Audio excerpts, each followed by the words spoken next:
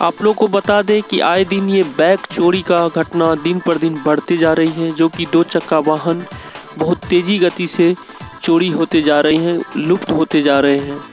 एक इसी तरह के मामला आए हैं, इसमें राधेश्याम मंडल, पिता का नाम बोवन मंडल, जो कि ग्राम बल्हा पोस्ट, अंटोडा का है, जो कि जिला दरभंगा का है, निवासी है, जिनके बैग पैसन पोरो चोरी हो गए।